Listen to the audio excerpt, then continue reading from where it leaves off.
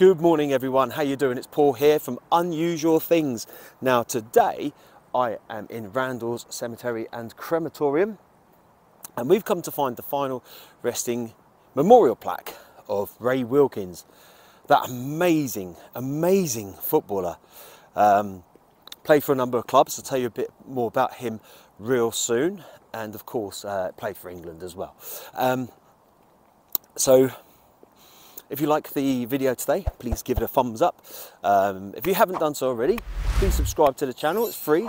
You find out, um, hit the notification bell and then you get notified when there's more videos going up. And um, yeah, if you went to see Ray Wilkins play in a football match at any time in your career, I'm just trying to think whether I have. He never played, apart from England, for any of the teams that I generally watch per se. I support Portsmouth, but I won't say it too loud. Um, so I don't, I can't remember whether I've ever seen him play against Pompey or not. I don't know. I have to really rack my brains on that one. Um, yeah, so let us know and uh, write in the comments down below, won't you? And I'll tell you a little bit more now about Ray Wilkins. Raymond Colin Wilkins, MBE, 14th of September 1956 to the 4th of April 2018, was an English football player and coach. Born into a footballing family with his father and three brothers involved in the game, Wilkins played as a midfielder. He began his career at Chelsea, where he was appointed captain at the age of 18, and later played for clubs including Manchester United, AC Milan, Queen's Park Rangers, and Rangers. He won 84 caps for the England national football team from 1976 to 1986, playing at UEFA Euros 1980 and the 1982 and 1986 FIFA World Cups.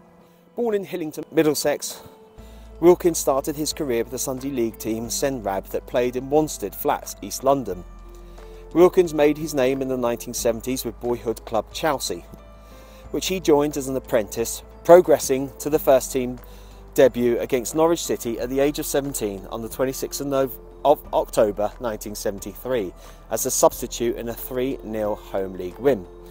In 1979, after Chelsea were relegated, Wilkins signed for Manchester United for a fee of £825,000, the highest fee received for a Chelsea player at the time.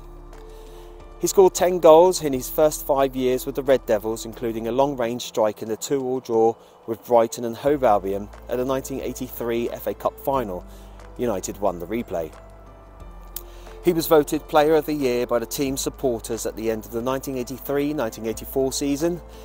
His midfield performances drew the attention of AC Milan, who made United a 1.5 million offer for the player. Wilkins signed with AC Milan in the summer of 1984. He later remarked that the most difficult part of adapting to the Italian game was the focus and fitness. The coaching staff made him work to reduce his body fat levels, and Wilkins described the result as him being in the best shape of his career.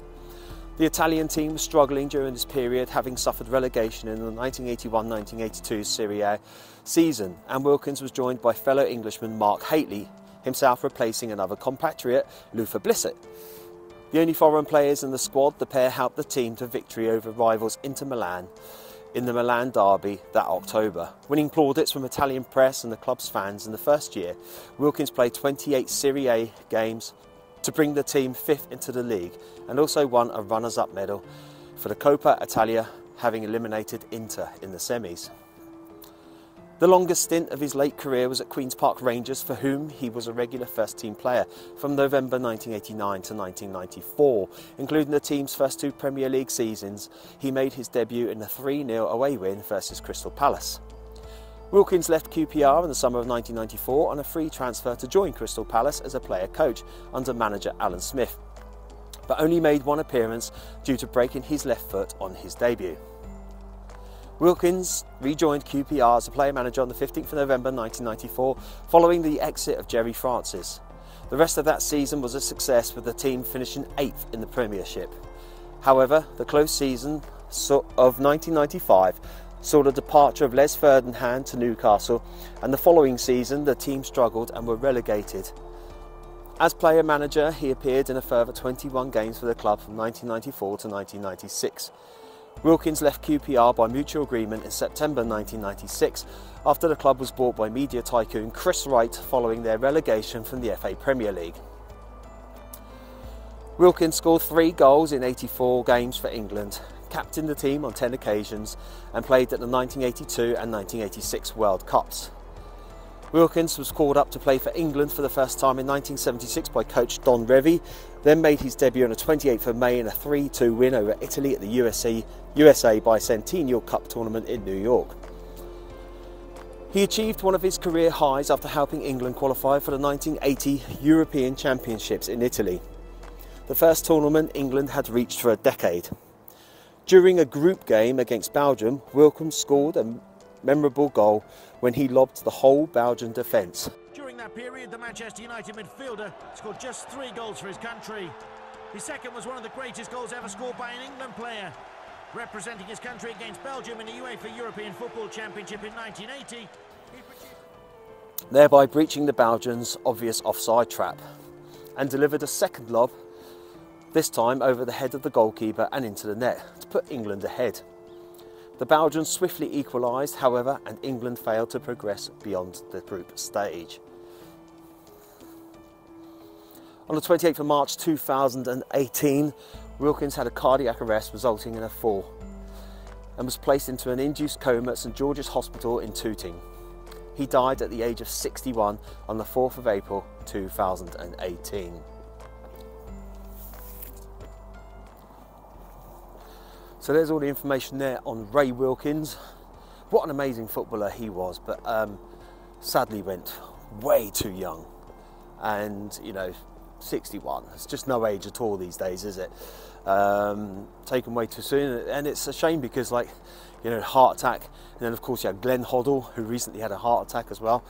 And it makes you wonder, doesn't it? Like, they're, they're, they're fit all their lives, you know, they have to have a certain fitness level.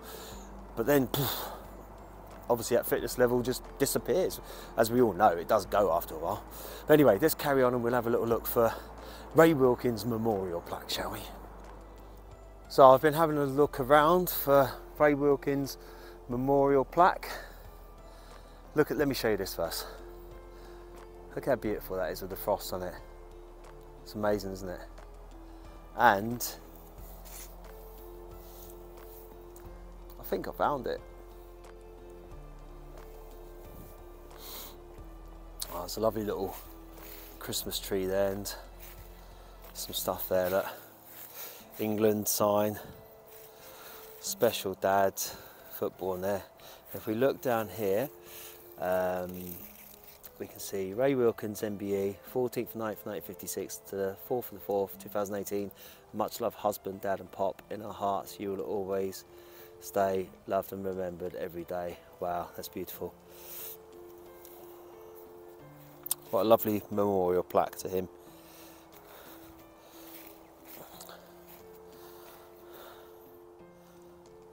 So there we have the final resting place, the memorial plaque of where um, Ray's ashes are. So thank you Ray um, for being not only an amazing sportsman and footballer, but he just seemed like a really nice guy as well, didn't he? Which was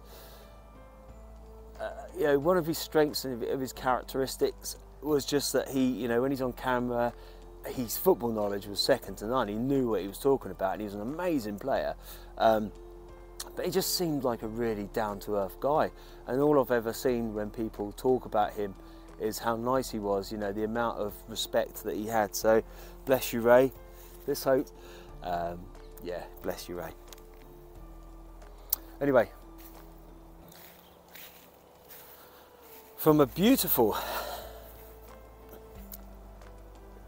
Leatherhead, Randall's Crematorium and Cemetery on this cold, frosty morning. Thank you, as always, for watching. And um, let me show you this first. I like to show you things. I like to take you on the journey with me. Look at that. What a view. Um, leave your comments down below. And if you like the video, of course, give it one of them. And if you haven't done so, subscribe. Usual stuff, you know by now, don't you? And I will see you all on the next one. Take it easy. Bye-bye.